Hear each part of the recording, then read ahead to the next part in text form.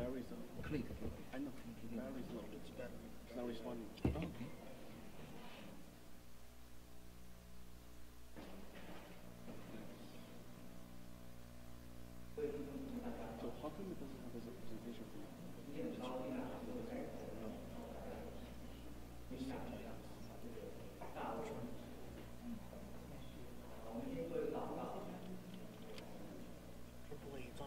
慈悲的父神，我们感谢赞美你，谢谢主，让我们再一次来到主你的前面，我们来分享大卫的信息的时候，求主帮助我们，能够从大卫的生平当中来学习主你的信息，教导我们要如何在我们的世上，走在这生命的道路上，都能够讨主些喜悦。感谢赞美你，谢谢主，奉主耶稣的名求，阿门。那今天我们是要看到这个，因为我们从前面一直看呐、从这个这个大的那个沙漠耳记上一直看，看到今天我们讲上一次看到第二十五章啊，今天我们从二十六章开始讲，已经第九次了哈。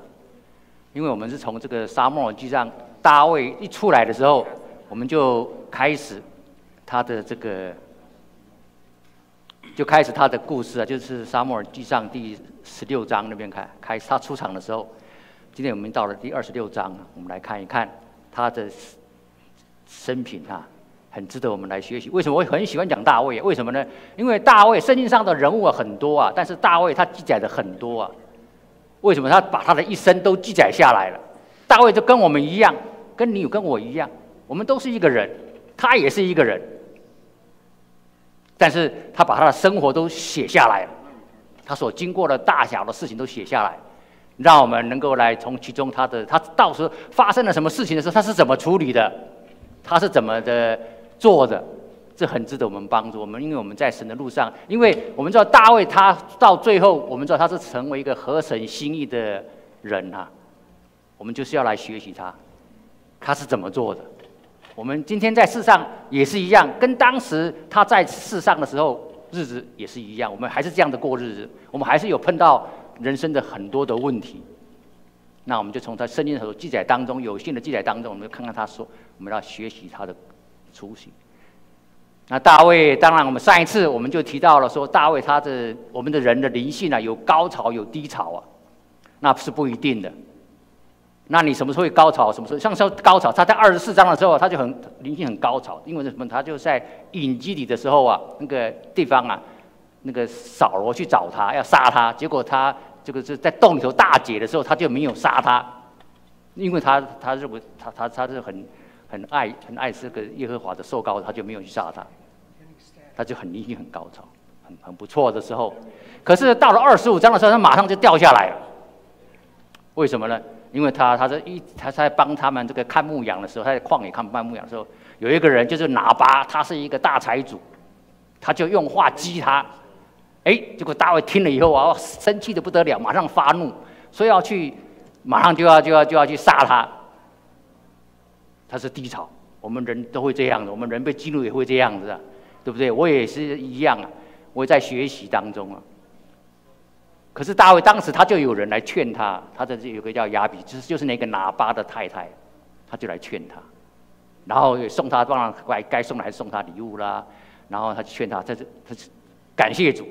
大卫就听了他的他的话，知道说他他大提醒他说：“你是一个神所拣选的人，你不应该做这种事情，因为这种事情，要你要杀喇叭的话，这个是属于神的事情，神自然会替你报冤的，你不必去亲自去做这个事情，你不要流人血。”他也听下去了，就他就回去了，他知道哦对。那我们也是一样，我们上次讲，我们每个人都是一样。我们每个人，你你生气的时候，你会做一些这个不好的事情。你可是是不是那个时候神就会借着人事物来提醒你？可能环境上，或者是你的什么朋友啊，或者是你的太太，或者配偶来来劝你，或者是谁，我不晓得。反正神会自然会安排，他来劝你说，你是不是能够接受？你是不是愿意服下来，服在神的权柄之下？听他听着他借着人事物告诉我们的话的时候，你是不是愿意服下来，跟大卫一样？你觉得听说，如果说这很很有道理的话，是神的心意的话，你当然你巴不得你就接受下来。这样子，我们慢慢学习，从大卫的这个生平当中啊，就是他就能够做到最后就成合成心意的人了。那今天我们就提到第二十六章。二十六章的时候，一提到一提到二十六章，我们可以说他就他灵性又慢慢又又又高起来了。灵性就是又有低谷，对不对？要从二十四章低下去，然后二十五章的低下面，现在又又又又爬上来了，到二十六章了。你看二十六章的故事开始来了。我们来看看二十六章哈。哎，这里啊，我们我们现在看看，我们现在看看看这个第，我们就他他圣经上分了四段了，我就分成四段。第一段我叫做神的考验呐，它记载是在二十六章一到五节啊。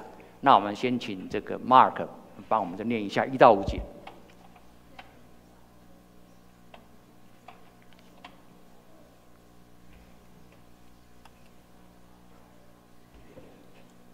Mark 他在吗？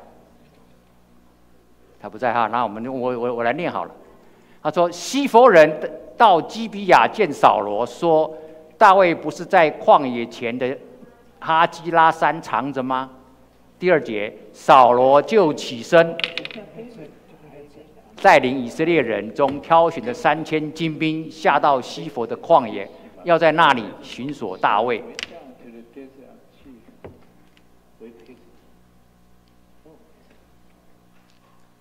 咦，怎么怎么不动？奇怪。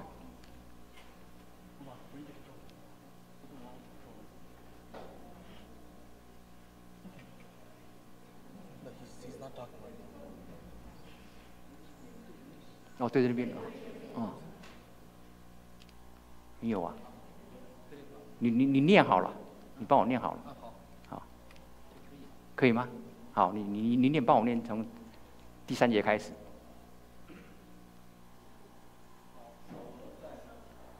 扫罗在旷野前的哈基拉山，呃，在道路上安营。大卫住在旷野，听说扫罗到旷野来追寻他。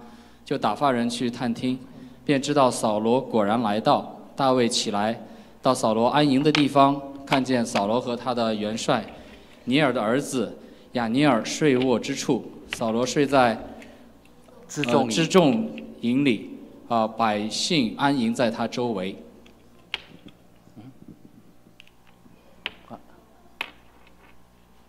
好，就是这这这五节就是这这样的。我们现在看一看。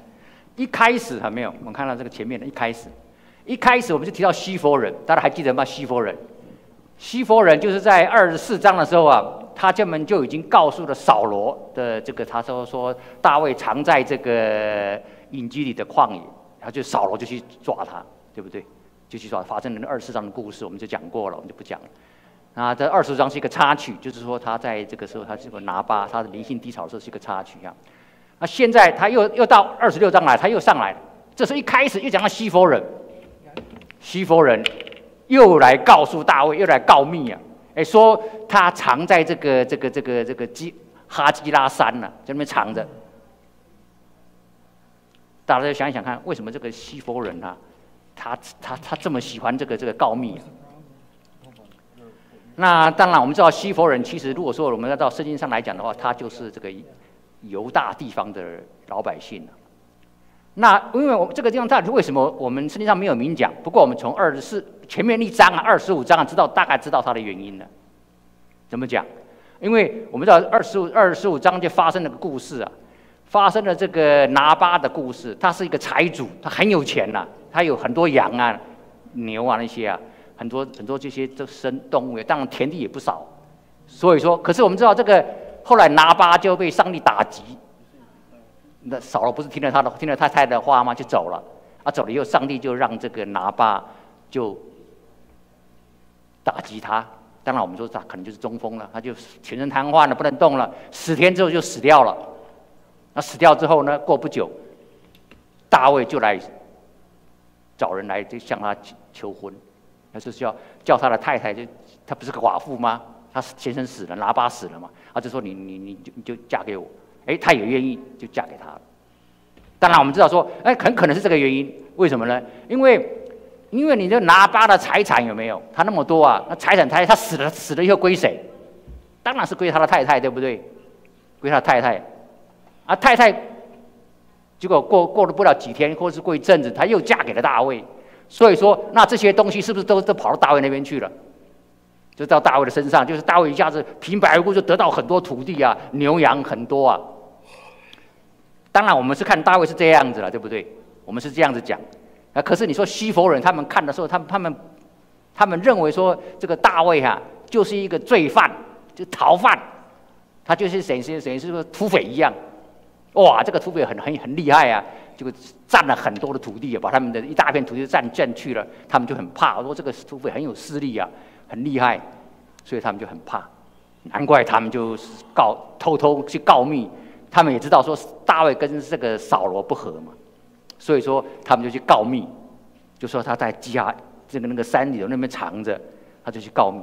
那扫罗就就就马上就怎么样，就派了三千人。三千是他的精锐锐精锐精锐的特种部队啊，就要去抓大卫。那他他去抓，我们知道说是在二十四章的时候啊，二十四章末了的时候，因为就是因为那个时候一个插曲，就是说因为大卫没有杀他，有没有？他就好像说假意说悔改，他就说，哎，我儿啊，什么什么，就就就好像悔改然后就走了，就就就就就离开了，就回去了。啊，怎么到这边来？一下子人家有跟他讲，他马上就又又出来，把前面前面讲的话，他就就忘记了，都忘光了。啊，这个他就是一一个很很大的一个一个一个心，因为这个他们大呃那个西佛人不是把这个秘密告诉他了吗？他就要去杀大卫，他他就把以前的话都忘记了，忘光了，他就要去杀大卫。那如果我们知道，在一个人哈，如果说他心里头没有。没有这个真的神的同在跟神的保守的话，只要有一点点的这个外面的刺激的话，他马上就发作起来。譬如说，这个这个这个，呃，这个扫罗啊，他心里头的嫉妒啊，心里头的恨啊，他马上就发作了，因为他心里头，他我刚刚讲了，他神他没有神的同在，没有神的保守啊，所以说他马上就固态复明了。我听过一个长资长老的牧资资深的长老资深的牧呃牧者啊，他这样子讲过一句话，他就形容说：我们人呐，我们每一个人，我们一个基督徒啊，就好像一个杯子，一个杯子里头啊，我们有个容器嘛，杯子就装满着东西呀。那这个杯子啊，装满了东西的时候，如果说你你外面碰一下，哎，它马上就会溅出来，就是那头，我们就常说里头装一杯这个这个这个这个。果汁也好，或者是水也好，不管是什么，你碰一下，怎么它就溅出来了？他就说了，他说他他他他就说了，他说如果说你这个杯子里头你是充满着这个仇恨，充满着这个不好的事情的话，人家一碰你就马上就是溅出来，你溅出来就是那些仇恨，就是那些不好的事情。反过来，如果说你的心里头充满着神的话语，神的这个这个良善的话。你让一碰的话，你一出来了是什么？就是神的话语，马上就晓得，就是这个样子。所以说，我们知道这个大卫啊，他就是因为他某某种事情的话，他就是因为这个事情，我猜他就是因为这个事情是受到西佛人的排挤，他就去密告扫罗，扫罗就要来抓他。那我们也是一样，我们每个人生活在世界上的话，我们也时候有的时候我们会跟人家有一点摩擦，你可能会遭到人家的排挤。或者是人家的排斥啊的时候哈，那你的你就不要灰心丧胆。为什么呢？因为这个我们都是受到排斥，不是我们只有我们而已。你看，你看，你看这个，连耶稣啊，他们都可以遭到排斥。他在世上的时候，他们就厌弃他。耶稣对他们说：“大凡先知，除了本地本家之外，没有人不被不被人尊敬。”意思就是说，他在他的家里头的话，人家是不尊敬他的，甚至到排斥他。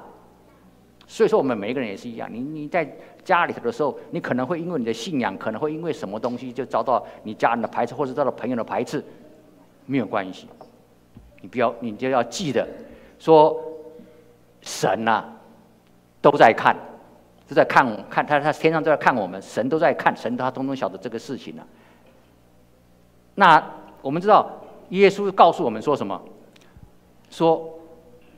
为义受逼迫的人是有福了，因为天国是他们的。他耶稣告诉我们说：“你心里不要发怒啊！如果当人家知道排挤的时候，你不要发怒。”他说：“因为你为义受逼迫，你为了你的信仰，为了你的这个追求神啊，而受到人家的排斥，是吧？可能你的朋友或者是你的这个哎，家人的排斥的话，你不要不要不不要灰心丧胆，不要不要发怒，对不对？他说你要安静下来。他说，因为为义受逼迫的人是有福的。耶稣这样告诉我们：你为了这些事情，你会受到逼迫的话，你是有福的。你在这个天天国，就因为天国是他们的。那我们知道，我们的神呐，他是信实的神啊，他说话算话。他说，我们这样子做的时候啊，我们为受受逼迫的时候啊，天国是我们的。当然，意思就是说，我们天国是我们的，那就是我们的。如果我们这样做的话，所以说我们遭遇到这种事情的话，就不要这个心里头怨恨了。我自己在以前呢，我现在已经退休了。我在工作的时候啊，我以前是做这个在这个实验室化验室工作的。我是一个我是读化验的，是是做化验师啊的工作。那我在那边工作的时候啊，我我刚刚我就是刚刚到一个新的地方，新的地方说本来跟这个我们到一个新地方就要等于是说受训嘛，对不对？因为要你要知道新的地方的规矩啦，新的地方的这个它的项目等等，你都要小了解嘛。所以说就在那边就有跟人家相处嘛，对，就告诉我应该怎么弄，怎么弄，这样那样，怎么个事情。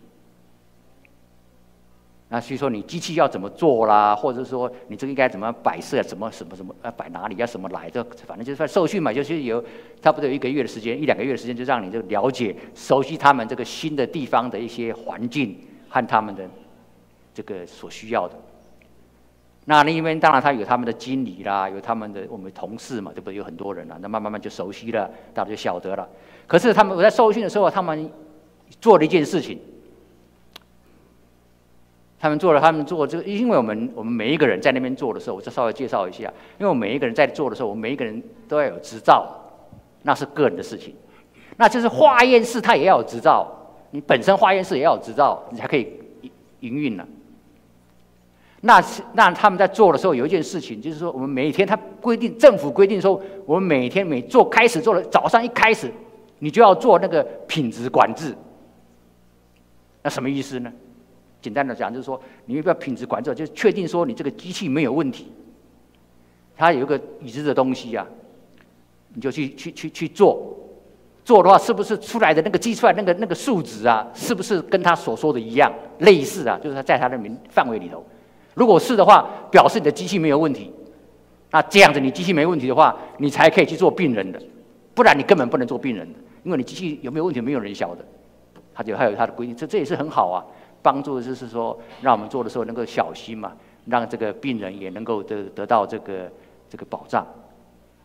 那可是有一件事情呢，他们我们在做的时候，那个那个人就告诉我们，我们本来是应该做这个品质管制啊，照理讲他要做三个，他要做他的高脂、中间正常值，还有这个这个这个这个低脂，要做三个。可是呢，我在受训的时候，他他他告诉我说，只要做两个。我就很怀疑，我说你，我说这样做可以吗？他说没问题，没问题。那个经理就说没问题，就是他们就是同事要训练他，就说没问题，那你就这样做好了。好，那那他他们这么讲，你他们的这边是这样子，那就他说没问题，没问题，那我就这样做了。哎，你知道这个这个化验室啊，他不久刚好就怎么样，那个 inspector 就是那个检查员呐就来了。就从政府所派来那个检查员就来了，他一来的时候，他就来看，他看什么呢？看你以前所做的东西，他就随便挑，譬如说你在做做做这么一大堆有没有？好，做了好好几个月、一年、半年的，哎，他就随便挑一个，挑某一天随便随他挑的，没有人晓得，他就挑一个，然后他就说就说就看，看你那一天你有没有做品质管制，他一看，当他还有看很多东西，我我就不讲，就说说品质管制那些跟跟我看到有关系。他说品质管制，他就说说，他他他就说一查，哎，他就说，哎，怎么只有你只有做两？怎么怎么怎么？他就问那个经理说，你怎么只有做两个？这规定是要做三个，你为什么只做两个？经理说他不晓得，他就说他不晓得，啊，他们就一查，那一天我们因为每每一个人做的话，他下面都有一个密码，谁做的，是谁做，他都晓得，所以那天刚好这是我做的。哎，他就经理就叫我叫人派人叫我找我去了，我也不晓得怎么回事，后来到那边才知道，原来是这个事情。他就说那个那个那个 inspector 就说你怎么做？你怎么这样做呢？我说我就我照实跟他讲，我说那个我在这边的时候，我来受训的时候，我刚是刚来的，我受训的时候他就叫我做这个呀。他说他我问我还问他说这样子合法吗？可以吗？他们说是没问题，没问题。所以我就这样做了。哦，他就讲，他就讲，那个还就是那个 inspector，他马上就说他，他就去打电话，打电话就给那个老板，大老板，他就跟大老板说，他就说你们这有有个员工哈，他这个非常的诚实，非常的好，这是很宝贵的，你们要。多多的把他留住，要因为他怕我说这个事情的话，老板他们不高兴会把我 fire，对不对？他所以他马上打电话去。那那个 inspector 呢？其实我认识，为什么呢？因为上一次我讲过了，这个是已经发生第二次了。第一次的时候我也讲过了，我就是所以说我认识那个 inspector，他就这样跟我讲，我就照实跟他讲，他就讲，他就跟跟跟那个大老板讲。好，那所以说。发生这个事情之后呢，那以后我就跟就在这个，因为发生这个事情以后啊，他们就有他们的记录啊，或者什么我不晓得。反正后来最后就是怎么样，就那个经理啦，或者是那个同事啊，他们就知道这个事情嘛，对不对？哎，他们就开始就是说不跟我讲话了，好像是说受受到排斥啊，就反正那个是无所谓的事情。我认为无所，我认为说是你该说就该说，对不对？你该讲就该讲。你我说对我良心无愧，我不管了。反正这个事情就是这个样子，我也我也没有乱讲，对不对？我你们就是这么讲的，我就这么告诉 inspector。那 inspector 听到之后，就帮我维护我，就跟大老板讲。这大老板当然以后那是以后话了，等下我们再讲。好，所以说我就受到了这个同事的排斥的时候，我也没有怎么样，我就我认为我自己问心无愧，我也没怎么样，因为我相信说，你你做了什么事情的话，神都在看了，对不对？神都知道的。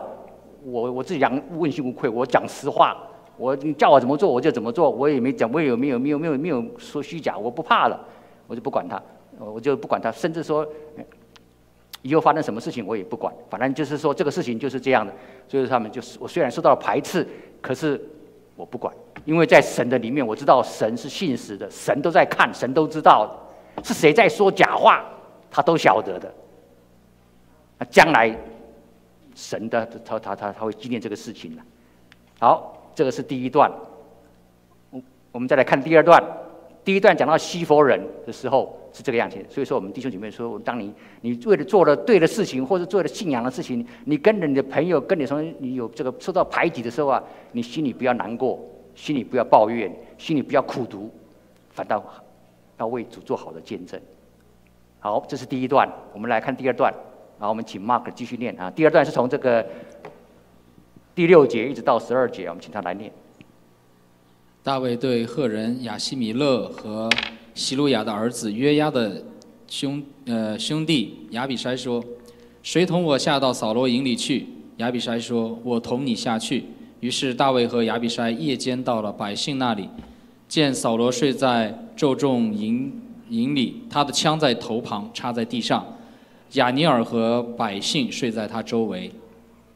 亚比筛对大卫说：“现在神将你的仇敌交在你的手里，求你容我拿枪将他刺透在地，一刺就成，不用再刺。”大卫对亚比筛说：“不可害死他，有谁伸手害耶和华的受膏者而无罪呢？”大卫又说：“我指着永生的耶和华起誓，他或被耶和华击打，或是死期到了，或是出战出战阵亡。”我在耶和华面前万不敢伸手害耶和华的受受膏者。现在你们可以将他头旁的枪和水瓶拿来，我们就走。大卫从扫罗的头旁拿了枪和水瓶，两人就走了。没有人看见，没有人知道，也没有人醒起，都睡着了，因为耶和华使他们沉沉的睡了。好。谢谢。再让我再一次再看到这个第二节第二段的时候，然后他他那个将那个那那个他的部下叫亚比塞，哎，这个名字很像啊。前面那个二十五章那个叫什么名字？叫做亚比该啊，是不是他们是不是兄妹啊？怎么都差不多名字？那当然这个是例外话，我们不管这个了。我们就说大卫他就发这个事，是大卫就问了他的部下说，因为扫罗不是率率三千人吗？要来又来抓他。他们到那个时候，那可能是是晚上，所以说他们就怎么样？哎，他们就刚好要就是晚上休息。他说休息休息，他就人家跟他讲的时候，他马上就出来，所以可能那时候晚上了。他办完事就出来，就晚上晚上就是休息，就是睡觉了。那这是扫罗的这一方面。我们讲到大卫，大卫他也是也有听说啊，说说扫罗又来又来抓他了，又来杀他。所以说大卫也是很担心呐，他说说我们要去看探一探，我们要去看一看到底是怎么一回事。然后他就跟他部下讲说：“你们有谁愿意跟我去？”他我们知道他的部下部下有六百个人，对不对？六百个人，他说：“你们当中有有谁愿意跟我去？只要一个人就好。”亚比塞在旁边嘛，他就是听到了啊，好我我要去，我要去，我要去。哦，这亚比塞这个人真是不简单了，他真是这个亚比塞跟这个大跟大卫两个人呐。两个人就要去探夜营了，他们真是勇，真是真是有胆量啊！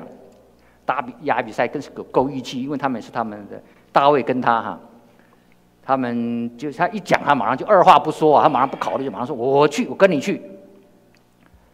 那这个时候我们知道扫罗在外面，他们有三千个精兵呐，睡在他的旁边，对不对哟？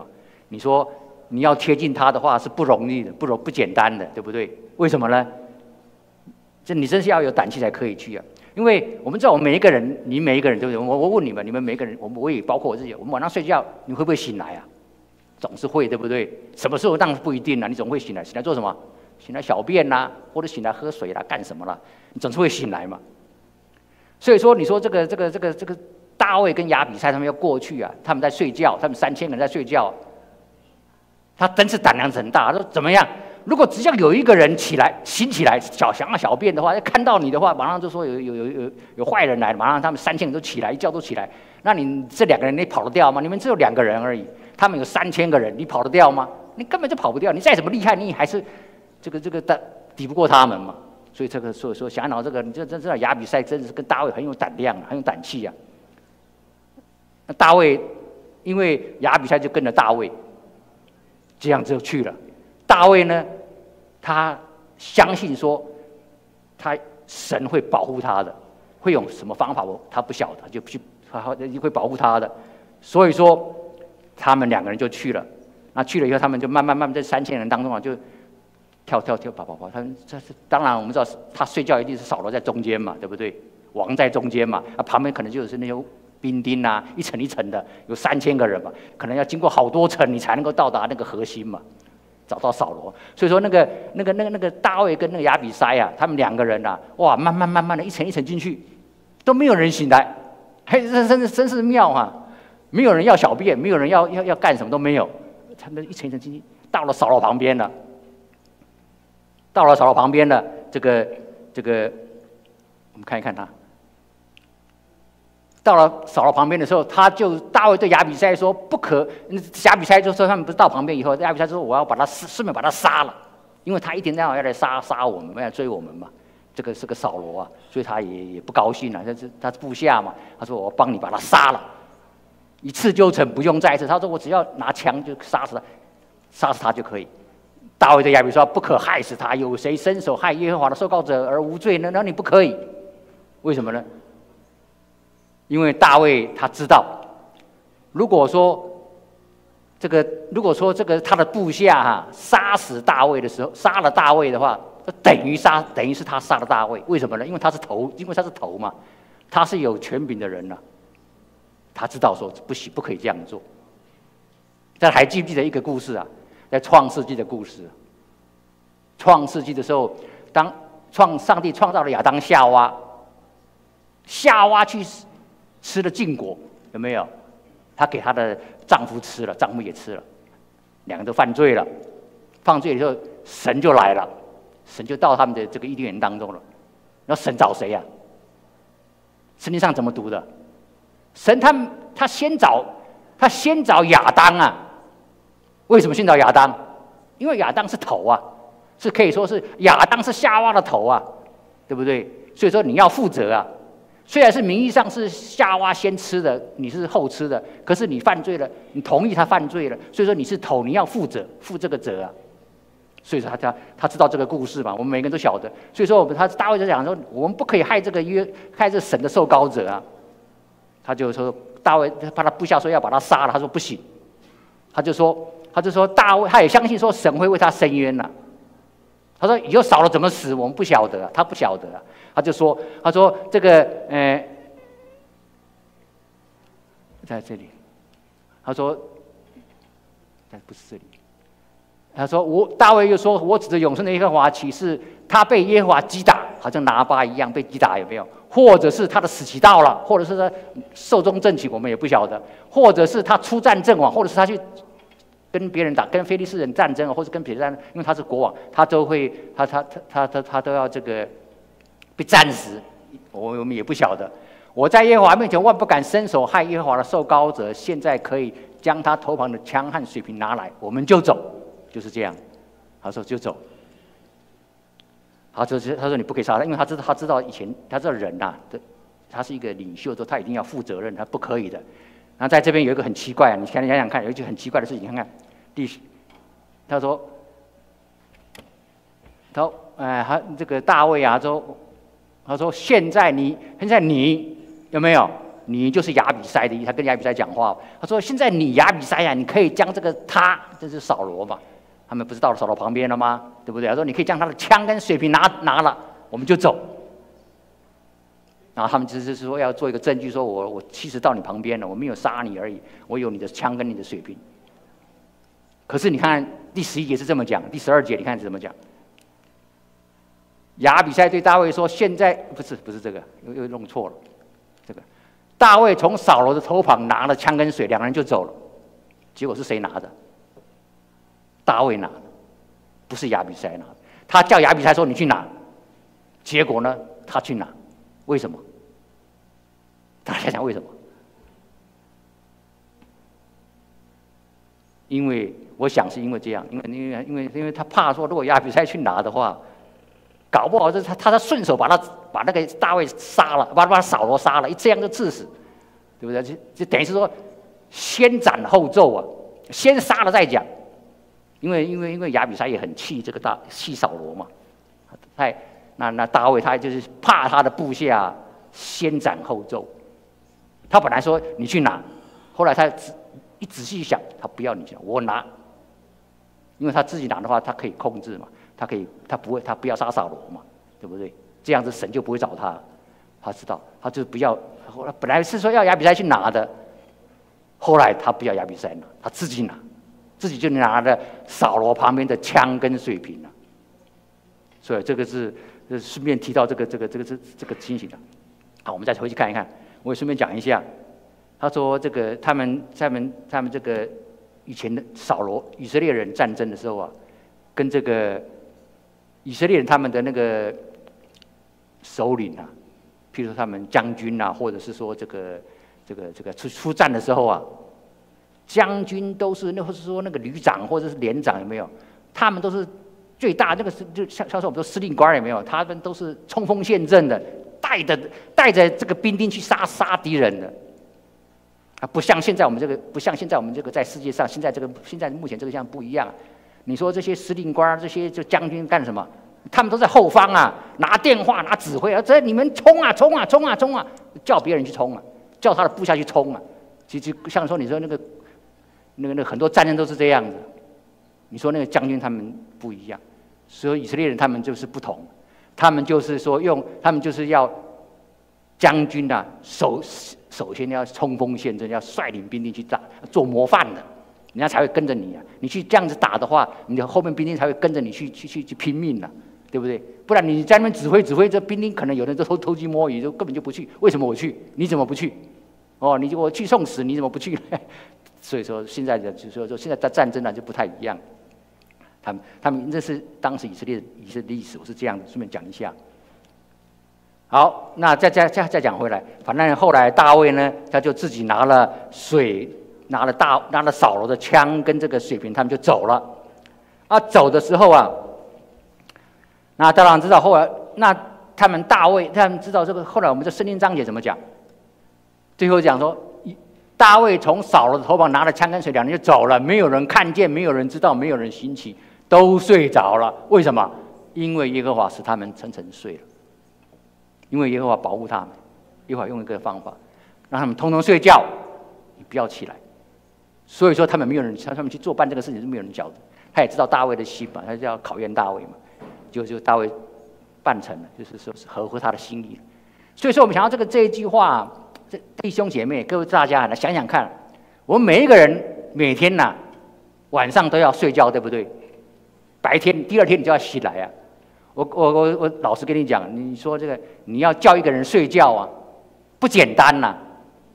你看有人我知道有人很容易睡觉，像我就很容易睡觉，啊，有人就不容易睡觉啊，啊，有人在那边胡不要想想想什么东西是，怎么在搞了半天，搞了一两个钟头才睡着啊。我躺在床上根本不不五分钟睡着了，可是有人就睡不着，一两个钟头睡不着。睡觉是不简单的，你神叫他们睡，你就乖乖的睡，沉沉的睡了，对不对？然后话再说回来，说我们自己好了。我们第二天能够醒来，我醒来，我告诉你，这是不简单的。有很多人睡就不起来了，很多人啊。你第二天醒来，这醒来这什么？神叫你起来的。看看一个章节，大卫说的，在诗篇二十三篇，他说：“耶和华是我的牧者，我必不致缺乏。他使我躺卧在青草地上，领我在可安心的水边。他使我的灵魂苏醒，为自己的名引导我走一路。”大卫他自己说，他自己跟神的关系，他说他是他的牧，他什么都不缺乏。他说他他领我到可安歇的水，晚上我也就是说躺卧在那里睡着，很安详的睡着了。他说怎么样？在接下来第二，他他使我第二天他就我的灵魂，他叫我起来，神叫我起来，我就起来了。起来做什么？为自己的名引导我走起来，就是说你要奔走第二天路程的时候，你就要起来，要感谢神。你要大卫告诉我们说，你要感谢神，要怎么样？那一天你要走神要你走的道路，要走在神的路上，这是神所喜悦的，而不是说，哎，你起来之后你做你自己的事情，根本就是是是不理神，或者是说这个这个这个神要你走做了你就不做，像说你就不应该这样，你应该走他的义路。你早上起来。你就要做神的事情，就是说，你就要去读神的话语，跟神祷告，求神帮助我们。这一天，新的一天来到的时候，我们能够走在神的路上，走在他所喜悦的路上。这就是大卫跟那个榜样。他睡觉很安详，他起来，神就让他起来。第二天，他就靠着神，就走在这个一路上。这很很好的榜样。我们每一个人。弟兄姐妹，我们每一个人也是一样啊，我们每一个人也是要这个样子。那这样的话，那我以前，我以前呢，在这个年轻的时候，我在，我每天呢，早上我们我以前我们教会啊，早上有那个有一首歌叫做这个早祷的歌啊，晚上有一首歌叫做晚祷的歌啊，那我很喜欢，我就每天都在那边借着这个呢来敬拜我的神。我早上一起来，哎，我就早祷就是他的里头就说，就是感谢神嘛，让你能够起来，对不对？要感谢神，就保守你平安，让你能够起来。就是说你要走，这这这这是让让你这样子早祷，就是让你要开始一天的路程的时候，求神帮助我们能够走在一天的路上。好，这是早上。那晚祷他也有他的意思，他是说怎么样？就成就谢谢主，让我一天过去了。但是我要反省，如果我今天没有走在神的路上的话，在某一件事上没有亏缺了主的荣耀，或者是做了不讨神喜悦的事情的话，求神赦免我，求神饶恕我，让我继续能够走在神的，我以后碰到这个事情能够继续在神的面前悔改，能够以后能够更有神的力量，能够行在主的路上，这就是每天祷告。当然就是保守我们一天呐，对不对？过去了晚上，所以说你说晚上、早上都是这样子，所以我也很喜欢唱这首诗歌，就是说它作为我的每天的应该的敬拜啊，或者跟我的神就是这个样子。好，我们再看到下一段，这个是第三段，这是十三节到十六节啊。我们请 Mark 再帮我们念这十三节到十六节。好，大卫过到那边去，远远的站在山顶上，与他们相离甚远。大卫呼叫百姓和尼尔的儿子亚尼尔说：“亚尼尔啊，你为何不答应呢？”亚尼尔说：“你是谁，竟敢呼叫王呢？”大卫呼叫百姓的百姓和尼尔的儿子亚尼尔说：“亚尼尔啊，你为何不答应呢？”亚尼尔说：“你是谁，竟敢呼叫王呢？”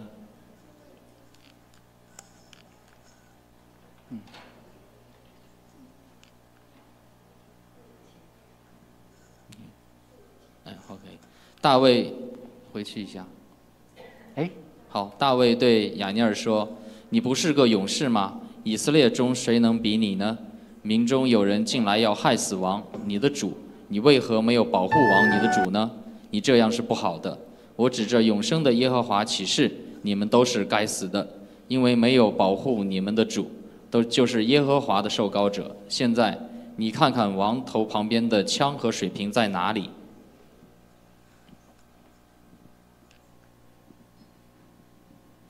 这不这是下一段了，我们然后再回来看看这个第十六到十六节念完了哈。那这一段我们知道说他就是谁是他拿他们大卫跟那两跟亚比塞不是拿了枪跟那个那个水瓶就离开了吗？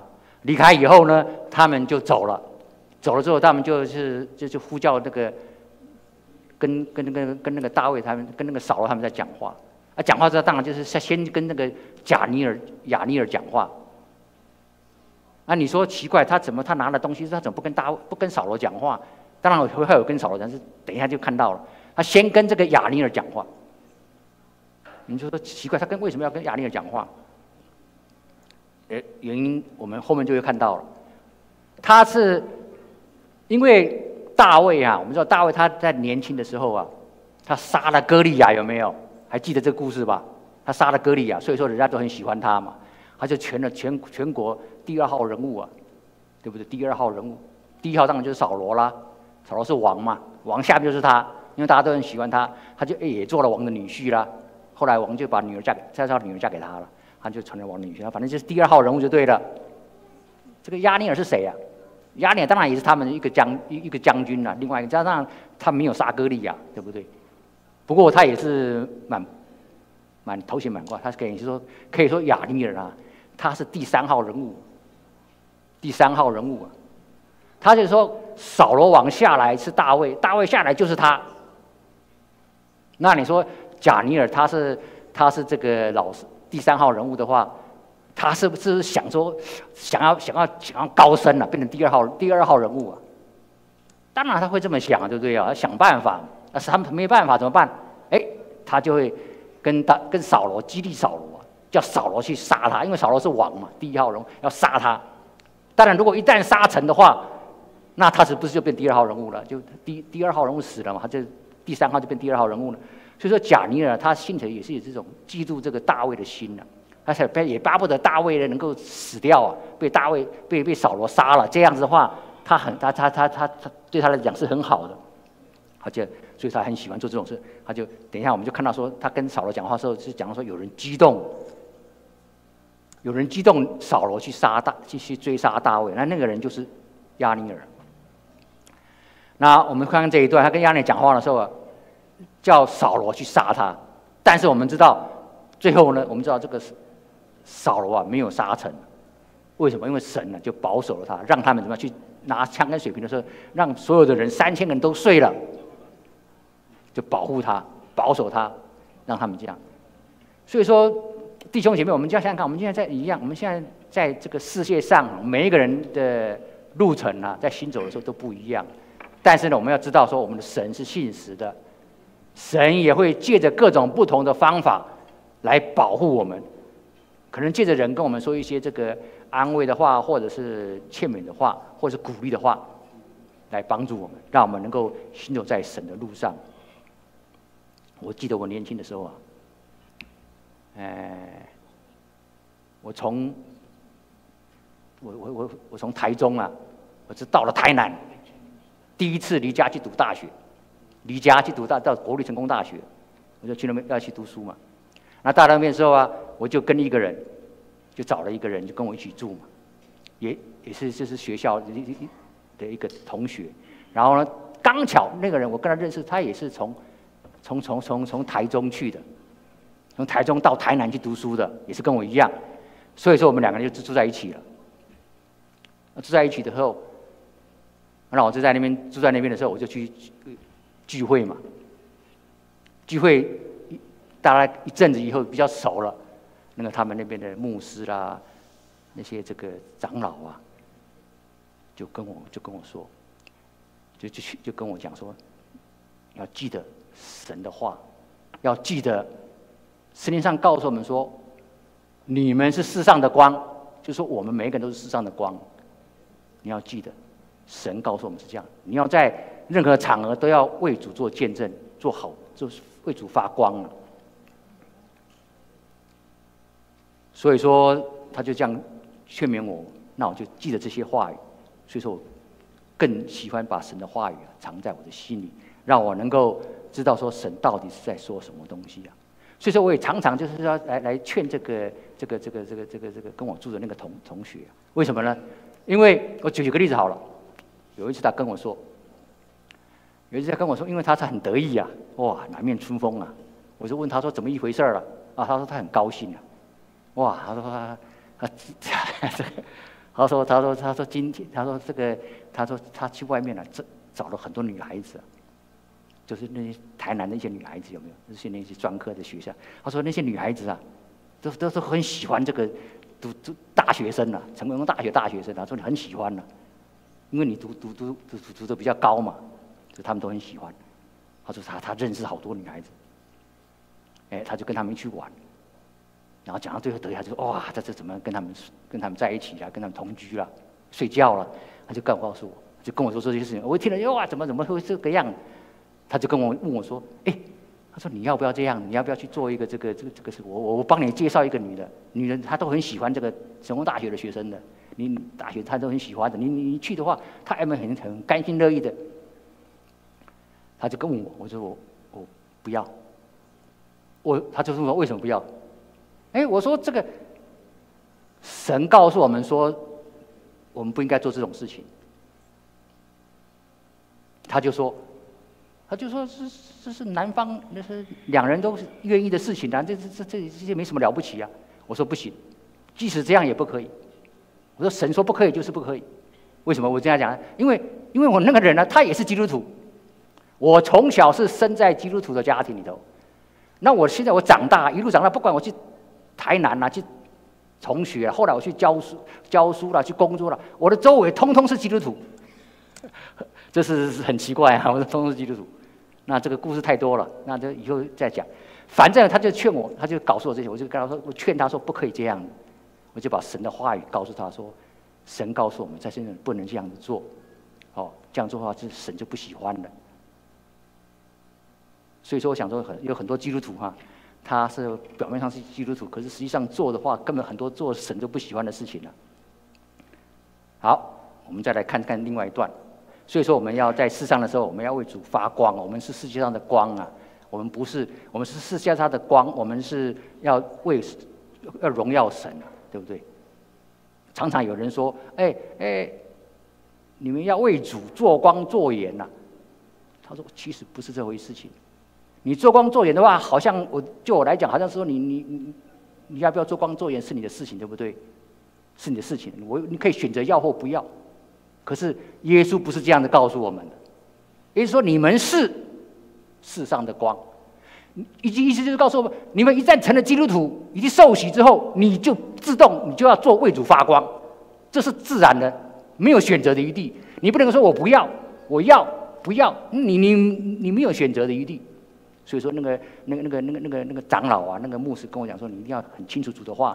主说这啊这样子就是这样子，你不能够随便解释，不能够随便讲的。呃，你们、你们神说你们是世上的光，你把它解释成你们做世上的光，做世上的盐，这是不一样的。他说这个是不同的事情，你要很小心神的话语，要小心。所以说我常常在那个在那个宿舍的时候，跟我那个同同同同寝室那个人，刚刚讲是一个一个事情呢，跟他劝他。也常常跟他讲说一些神的话语，他有些他也他也不太清楚，我就告诉他说神是怎么讲的，我还不但跟他讲，而且我还把圣经翻过来给他看，你看看这个神就是这样写的，不是我讲的哈，不是我在这我我我我编的，是神就是这样讲的。当然他看到说你圣经上这么讲，他他他当然知道是神的话，不是我我我在那边加油添醋讲。好，话再说回来，我们看到大卫第四段。扫罗，哎，神借着扫罗来命令大卫。我们看到这最后一段了。好，我们十七节到二十五节，我们也是想请 Mark 先把我们念一下，我们先了解一下大的故事在说什么。好，扫罗听出是大卫的声音，就说：“我儿大卫，这是你的声音吗？”大卫说：“主我的王啊，是我的声音。”又说：“我做了什么？我的手里有什么恶事？主竟追赶仆人呢？求我主我的王听仆人的话。若是耶和华激发你攻击我，愿耶和华收纳祭物；若是人激发你，愿他在耶和华面前受咒诅，因为他现今追逐我，不容我在耶和华的产业上有份。说你去侍奉别神吧。”现在求王不要使我的血留在离耶和离耶和华远的地方。以色列王出来是寻找一个呃歌诗，呃如同人在山上猎取一个虎蛰虎一样。呀，扫罗说：“我有罪了，我儿大卫，你可以回来，因你今日看我的性命为宝贵，我必不再加害于你。我是糊涂人，大大错了。”大卫说：“王的枪在这里，可以吩咐一个仆人过来拿去。今日耶和华将王交在我手里，我却不肯伸手害耶和华的受膏者。耶和华必照个人的公义、诚实报应他。我今日重看你的生命、性命，愿耶和华也重看我的性命，并且拯救我脱离一切患难。”扫罗对大卫说：“我儿大卫，愿你得福，愿你必做大事。”也必得胜。于是大卫起行，扫罗回他的本处去了。好，这就是第四段。神那个大卫呢，他就跟是跟这个扫罗的讲话一段话语啊。刚刚我们看到这个在在前面啊，第十九节有没有？我刚刚不是讲说那个亚亚尼尔吗？他这边就讲了，你看看。求我主我王听仆人的话。若是耶和华激发你攻击我，愿耶和华收纳祭物；若是有人激发你，愿他在耶和华面前受咒诅。有人有没有？那个人是谁？就是亚尼尔。为什么呢？为什么要激发他扫罗去杀他？因为他他想要更大嘛，想要高升嘛，所以他心头嫉妒嘛，嫉妒大卫，巴不得扫罗把大卫杀了。可是他心里头这么想，可是神就是。还记得前面一个章节有这么讲？我忘记，好像是在二十三章吧。还有说，扫罗天天要来杀大卫啊，他整个思想就是要杀大卫。可是神就是不将大卫交给他，因为神就是要保守大卫。有一个章节是这么讲，意思就是说，神用各种不同的方法来保守大卫啊。好，现在已经已经到了这边。他说，如果有如果耶和华够激发你的话，愿我收纳祭物。如果是有人的话，愿他受咒诅。这下面这句话非常的重要，因为他赶逐我，不容我在耶和华的产业上有份。说你去侍奉别神吧。大卫是这么讲。大卫他所关心的事情呢，他很他所关心的事情，他显出来跟他讲。他就说，有人想要激发你，让我逃离，离开这个以色列，这样子的话。他就在产业上没有份，他说：“你去侍奉别神吧。”那意思就是告诉我们说，少这个大卫啊，他很他心头所关心的事情就是说，他不能够在这个以色列啊，好好的跟这个百姓们一起在圣所里头敬拜神这是他所关心的，这是他所愿意要做的。巴不得我们也学习大卫的精神呢，也是一样，我们能够这个。有有跟他一样的心呐，来这个来看那个来跟我们弟兄姐妹能够在一起来敬拜我们的神。我们看看下面，好，大卫他的他的他的心，他说：“我在圣所中曾如此瞻仰你，为了要见你的能力和你的荣耀，巴不得弟兄姐妹我们也是一样，我们能够这个跟每一个人在教会里头能够实体上来来聚会。”一起来敬拜我们的神，那这样的话，我们在敬拜当中呢，我们就可以看知道说，我们更能够来更认识我们的神，使得我们的灵命能够灵命的呃属灵的生命啊能够长进。也在生活上呢，我们可以跟弟兄姐妹一起来交通，对不对？我们不是有爱烟吗？我们来可以交通，这这样子的话，不是很好吗？这是当时大卫的心情，巴不得今天也是我们的心情。当然，不要不要像说这个说，哎呀，反正就是听到嘛，我在家里听也一样，我在家里把电脑打开就可以听了嘛。啊，其实这个不一样啊，差很多啊。你在你在网上听的话，你就不能跟跟弟兄姐妹交流，好好的交流，对不对？因为你你你碰不到嘛。你你所听到的就是道理而已啊，你根本就没办法说跟朋跟弟兄姐妹一起来分享，一起来这个这个这个这个交通都不行，只是说说这个是差很多的。当然，我们我们的现在这个末世这发生的信息是以前前前一阵子有没有刚开始的这个 COVID-19 发生的时候啊，政府这样的规定的时候，我们没办法，当然是非要这样子不可。可是后来政府就说就不必了，就是说就是把这个这个限制取消了。取消了，我们就该回来，我们就应当回来。为什么呢？因为你敬拜神，让我们更认识神，在我们的属灵生命上能够更加的长进，使我们在生命上能够有所交流，这才是神所喜悦的。好，我们再回到这个故事啊，来看一看。哎，刚刚我就看到看这看到这里吗？他说。来来来看这里，他是说这个你去侍奉别神吧。他说他这讲完了以后啊，就说，哎，你就是说王，不是这个，他就说王的枪在这里了，你可以吩咐人拿去了啦。大扫罗当然就说我有罪了什么，这又是又是这样子，好像悔改一样啊。当然他是不是真心的悔改，我们看他的应该看他的表现的话，应该不是真心悔改啊，他只是嘴巴会讲而已，对不对？讲话就是说这个不实在。他就讲说：“我犯罪了什么什么的。”那大卫就说：“好了好了，你就把这枪拿回去了，就是这样子的。”那这个他接下来讲说什么样？他说：“今日耶和华将王交在我手里，我却不肯伸手害耶和华收高者。耶和华必照个人的公义诚实报应他。我今日看中你的生命，愿耶和华也看中我的生命，并且拯救我脱离一切患难。”二十四节，我们二十三节等下再讲，我们讲二十四节。他说：“我今日看中你的你的生命，就是我没有杀你呀。照理平常的话，我们怎么讲？我没有杀你，我看中你，我没有杀你。我愿你，接下来应该讲说，愿你也看中我，不要杀我。我今天没有杀你，你也不要杀我。这是我们一般都是这么讲，可是他不这么讲。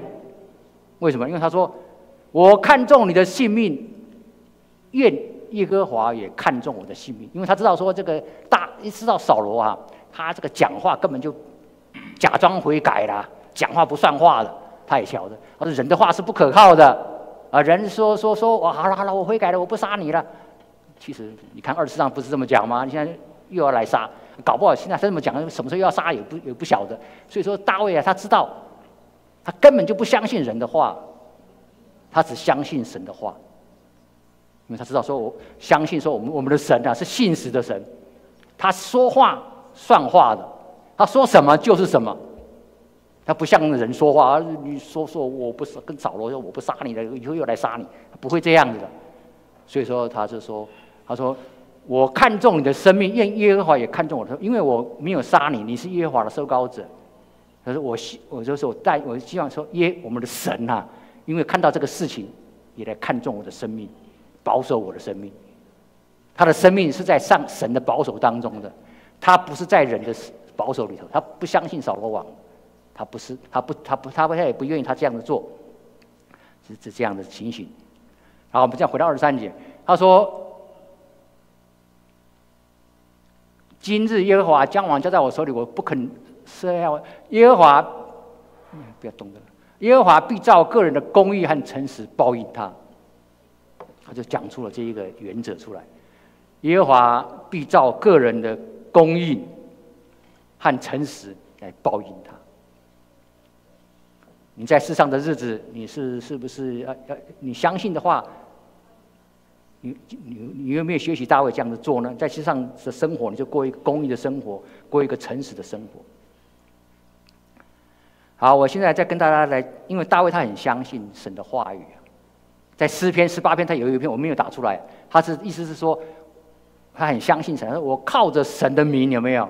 我要跳过墙环，我要就冲入敌军了。就是说他相信神会帮助他的，会保守他的生命，也能够在他生活上，他能够冲入敌军，跟人家一起来这个争斗，也能够在跳过他有困难的时候，也能够跳过去，他也不怕了，因为他相信神的话语。好，那这个他相信说神是会按照个人的公义跟诚实来报应他。那我再跟大家讲一讲刚才的故事啊。刚才我不是说到那个那个我在那边做事吗？我说到说到说是他不理我了，没有不讲话了。那后来当然有人那个后来啊，他这个事情不是就过了过去以后过几天以后啊，那个那个大老板就打电话给我，就就就问我问我说到底什么一回事儿，我就告诉他了。哦哦，他听到说，表示说他听到的话跟那 inspector 讲话是一样的。哦，他就他就知道，好好好，就这样。然后呢，以后当然是有什么事情我就不晓得了。以后过又过了一阵子，哎，上面就决定了发布的是是命令。他什么命令？这个命令呢，他没有将我开除。他将什么？将经理开除了。为什么？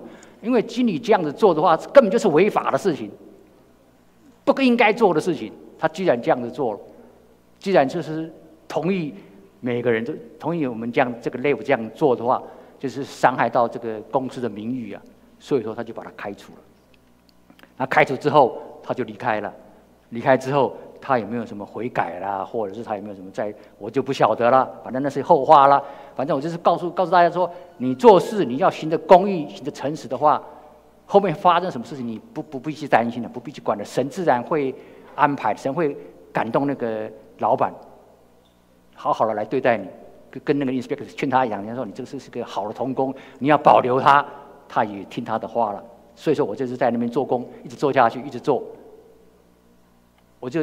我就一直在，我就是我在那边做的时候，也是在那边求神，就是说，神啊，你帮助我，让我能够就是为神你发光，让我能够在这边好好的做下去，不要出了什么差错，好，做了不应该做的事情的话，让这个公司把我 fire，我不要这样，我我希望说主你保守我，让我在这边好好的工作下去，一直到我退休，真的，神就这样子保守我，在这最后的几年当中发生那个事情之后，又过了好几，他他们可能又过了七八年了。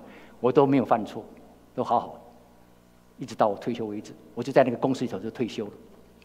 好，这是后话，不讲。反正就是说，意思是说，劝我们大家每一个人都能够跟大卫一样，说我们在世上的日子，我们所行的都是公义的事情，所行的都是诚实的事情。这样子的话，神就会这样子保守我们。那你说，我刚刚再回到刚才的故事，你说你怎么怎么敢敢怎么讲这些话？怎么讲这样子啊？怎么这样劝劝同？就跟最早不是劝同劝人家讲吗？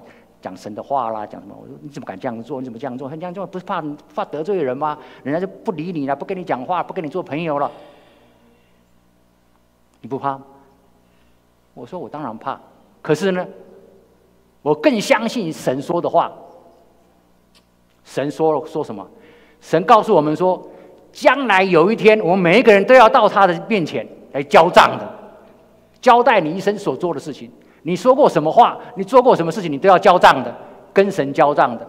我很相信，因为我相信神是信实的神，神这么说就就会这么做。我相信有一天我们要去跟他交账的。所以说我在世上的时候，我就照着这个神所告诉我们，就是大卫说的公益的生活，你诚实的生活，讲话我都很该说什么就说什么，我不会编造谎言的，我不会说这个不会这样做的。主要的理由就是因为我相信神是信神，将来我们每一个人都要到神的面前来交账。好，我们再来看下去。好，那在他他，在他那个刚刚我们讲到那个，我们回到那个，回到刚才那边看一下，就到了。愿愿我今日看中你的生命，愿耶和华也看第二十四节啊，我今日看中你，因为看。并拯救我脱离一切的患难，在沙漠耳记上这段故事当中呢，他求神帮助他能够在神里面使他能够脱离一切的患难困苦。在世上的日子，我们知道我们会碰到什么事情，没有人知道的。你有什么困苦，有什么困难都不晓得。但是他只是祈求神帮助他能够脱离，这是他在神的面前的一个祷告。求神帮助我们。你看他到了这个后面呢，他怎么讲？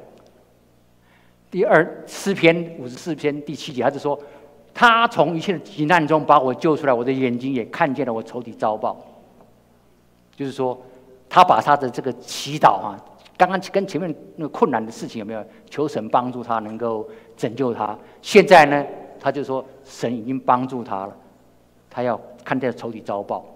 意思是什么？意思是说把刚才把沙漠耳去上那些他他现实所碰到的事情啊，他在祷告的事情有没有？现在已经变成了一个赞美神的话，赞美神的话，所以说这是很了不起的事情巴不得我们每一位弟兄姐妹也能够一样，我们在世上虽然有很多苦难我们也能够把我们的苦难到最后变成将就赞美我们的神呐。好，再讲这个急难，我们再讲再稍微解释一下这个急难呢。急难来讲，我们每一个人都会有的，每一个人都会有急难的。都有都在世上，我们每个人在世上都会有困难的，什么困难没有人晓得，但是总是会有的。你说我现在都没有，哎，你不必担心，你有一天会有的，总有一天会有的。为什么？因为这个不是我说的，是谁说的？耶稣说的。我将这些事告诉你们，是叫你们在在我里面有平安，在世上你们有苦难，但你们可以放心，我已经胜了世界。耶稣告诉，明明的告诉我们说，我们每一个人在世上都会有苦难的，不管什么苦难，你总是会有，有大有小，有多有有有少，那不管的，总是会有的。但是呢，耶稣说我们有苦难，但是你可以放心，为什么？因为我们可以放心，靠着耶稣，我们就能够战胜我们的苦难，就跟大当年大卫一样，他靠着神。刚刚在我说在诗篇十八篇，我没有写出来。他说我靠着神就能够冲入敌军，跳过墙环。就是说，他在世上的日子呢，他就不怕。我只要靠着神的话，我就能够做神所要该轮到我的事情。什么苦难呐，什么敌军呐，那不管什么事，你有什么苦呢？好像有个墙壁，你看不到未来啦，好像很很很很悲观呐。他说，他不怕，他只要靠着神人的名的话，你就可以跳过去。其实耶稣他有讲过类似的话，还记得一个故事吗？耶稣有一天跟这个，就是说跟门徒去渡在加利利湖上要渡过去，在湖上的时候，忽然起了暴风，有没有？他们就说努力划桨，可是没有办，没有没有办法，他们就去到到船舱里看到什么？耶稣在睡觉，他们就把耶稣摇醒，就说：“哎，夫子啊，我们上面的你不顾吗？”耶稣说了，耶稣醒了以后就斥责风，斥责浪，住了吧，静了吧。风就止住了，风就静了。的确，我们在我们的生命当中啊，有很多的苦难但是你放心，耶稣告诉我们说：“你放心好了，你靠着神的话，神就会让风浪停止，静了吧？神有办法。所以说，巴不得我们就有这种信，跟神跟这个大奥一样的信心呐，能够靠着神，能够。”战胜这我们的苦难，战胜这个世上所面到念到的一切，对不对？那我们都能够要晓得。好，所以说巴不得我们弟兄姐妹能够来相信我们的神，一起来来敬拜他，来依靠他哈。那最后神就借着刚刚大扫罗说的那个，我们回去看看。扫罗说：“我呢，这是他感动，神就让他讲出这种话出来，就说。”愿你得福，你必做大事，也必得胜。就告诉，就他就讲出来了，说你将来一天会做大事的。他也知道，神就借着他讲出来说，大卫有一天要做以色列的王。今天我们在座的每一位弟兄姐妹也是一样，今天也神也跟我们讲，告诉我们，你我们将来神要跟我们同在，保守我们在世上的一切。所以，我们身上所做的一切都能够讨杀的喜悦，喜悦，能够做一个得胜者。让这是说，让我们能够在世上说做一个得胜者，这是神所喜悦的。好，今天就跟大家就是很简单的分享到这边为止。那最后，我们留一起来唱歌，有一首这个回应诗歌哈。好，我们看看结论，我还没有讲结论，结论我们念一下就好了。当我们因为信耶稣而遭到家人排斥的时候。请记得耶稣安慰我们的话，说：“为义受逼迫的人是有福的，因为天国是他们。”好，我们看看第二。第二个，神是信实的大牧人，也是引领我们生活的神。无论我们睡觉，我们醒着，神都会保守我们，也会在我们醒了之后走在他的路上。第三，让我们跟弟兄姐妹能够在圣所中一起来敬拜神，使我们的属灵生命呢能够一起的成长。就是说，让我们大家能够一起来，实际上来敬拜神，我们能够互相交流，使我们的生命能够长进。不是这个。最后第四项，当我们相信神是信实的时候，他必然照我们生活中的公义跟诚实来报应我们的时候，我们的生活就会发生改变，我们的生活就会不再一样，我们的属灵生命就会更加的长进。